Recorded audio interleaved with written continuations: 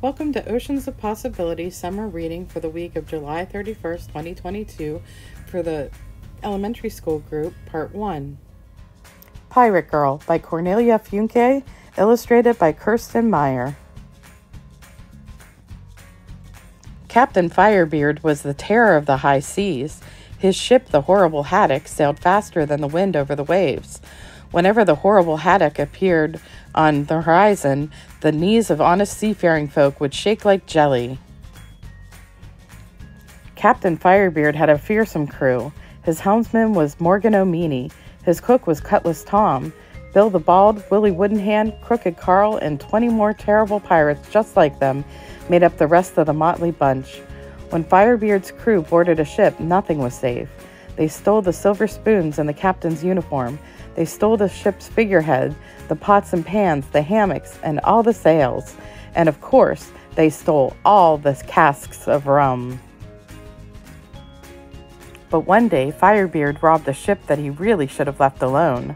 On board was a little girl named Molly. Molly was off on a trip to see her grandma. The pirates leaped on board with an ear splitting roar. Molly tried hiding among the ropes, but Morgan O'Meany soon fished her out, what shall we do with her? he said with a smirk. Take her with us, you fool, bellowed Firebeard. Her parents will pay a handsome ransom for such a little treasure, and if not, then we'll feed her to the sharks. You'll be sorry for this, cried Molly. But Morgan O'Meany rolled her up like a herring and tossed her on board the horrible haddock. When the sun had gone down, Bill the Bald dragged Molly to see the captain. All right, tell me your parents' names and address. Or else, growled Captain Firebeard. Will not, Molly growled back. If I told you my mother's name, you'd be so scared you'd cry like a baby. At this, all the pirates howled with laughter. So Molly was put to work. She peeled potatoes and cleaned boots. She polished cutlasses, patched sails, and scrubbed the deck.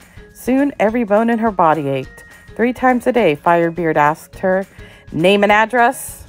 But Molly just smiled. Feed her to the sharks, roared Willie Woodenhand, but Firebeard ground his teeth and said, She'll talk before long. Every night the pirates had a party. They drank rum, staggered across the deck, danced on the ship's rigging, and bawled out the rudest songs. But Molly had a plan. While the pirates were carousing, she wrote secret messages and popped them into empty bottles. When the pirates were safely snoring in their bunks, she tossed the bottles into the sea. Molly did this every night. One night, the pirates partied until dawn, but this time they fell asleep on the deck. Molly tiptoed across the tangle of arms and legs and threw her bottle over the ship's rail. Splish, splash! It landed in the deep, wide sea. Hey, what was that? yelled Morgan O'Meany. The pirates staggered over to the rail. It's a message in a bottle, they all cried. Bring it to me, shouted Captain Firebeard. Now! The pirates dived to the bottom of the sea. They searched and searched, but Molly's message had bobbed away. Soaking wet, they crawled back on the deck, cursing. Tell me what you wrote, demanded Captain Firebeard, but Molly just kicked at his wooden leg. Firebeard turned red as a lobster. Now it's time to feed her to the sharks, he roared. But a cry from above stopped him. Puh, puh, puh, pirates! shouted Ten Pint Ted from the crow's nest. Nonsense, scoffed Firebeard. We're the only pirates around here. But he was wrong. A ship with red sails was speeding towards them. A giant black flag with a skull and crossbones fluttered from its mast. Who in the name of Neptune's beard is that? stuttered Firebeard. That's my mom, Molly grinned. It's Barbarous Bertha herself, wailed the crew of the horrible haddock. Firebeard turned white as a sheet, and his pirates rolled their eyes in fear. This time it was their knees that were shaking, and Bill the Bald's fake teeth almost flew out of his mouth. The ship with the red sails drew closer and closer. Barbarous Bertha stood at the prow, swinging her cutlass. Wait until she sees my hands, said Molly. They're red and raw from peeling potatoes. That will make my mom maddest of all. Firebeard and his pirates groaned with terror. Soon, Barbarous Bertha was alongside the horrible haddock. Her ferocious crew swung themselves over the rail with a terrible roar. We're here at last, my pirate girl, cried barbarous Bertha, throwing Molly high into the air. We got your message. Your grandma was beginning to wonder where you were. Now, how nasty can we be to these piratical nincompoops? Well, said Molly, that's easy. From that day on, Captain Firebeard and his pirate crew had no time to think about raiding ships. Willie Woodenhand scrubbed the deck. Morgan O'Meany and Cutlass Tom peeled vegetables from morning until night. Captain Firebeard polished Barbarous Bertha's boots 14 times a week, and Molly was finally able to visit her grandma. The end. We're going to make a little telescope, just like the pirates used to see land far away. Um, so what you'll need is your craft kit. You'll have a telescope. See how it pulls out all the way so it slides out. Um, and then you'll have stickers. Um, you should have plenty for your telescope. Um, I only put one kind in mine, but there are two different kinds. There's also skull and bones ones. But I knew I wanted the little characters. So what you're gonna need is crayons, markers, or paint. I'm gonna use crayons on mine and I'm just to go ahead and color it. Um, I'm to color the outside parts black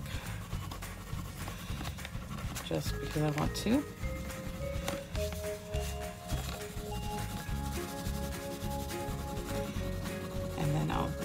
Color the rest different colors.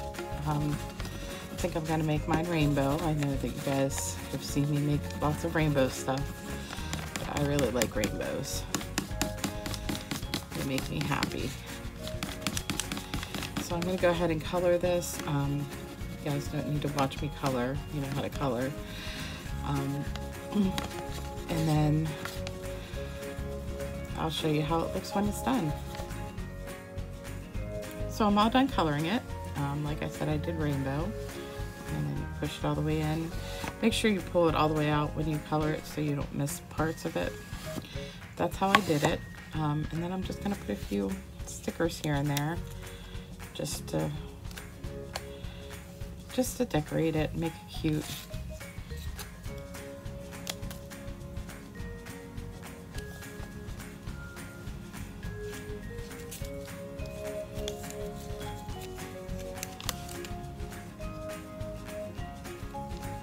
And you can put them anywhere you want, just don't put them over the lenses or else you won't be able to see through it. Um, but like I said, there should be more than enough stickers for you. Um, oops. Sorry, it's gonna ring four times, guys. Told you, I try to make sure that it's not on the hour or the half hour, but sometimes I forget. I get too excited about what I'm doing. Um, I'm not going to put any stickers on this part just because they're too wide, they won't fit on there. I want to make sure it still closes. And if it overlaps, it won't close. But yeah, I'm just sticking stickers all over. Just to look cutish.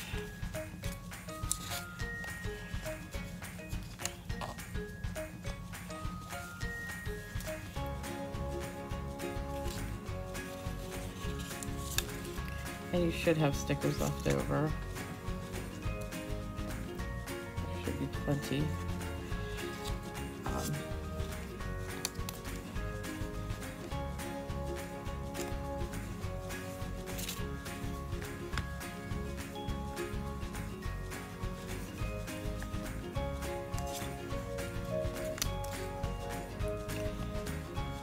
so that's about it. Um, I still have stickers left over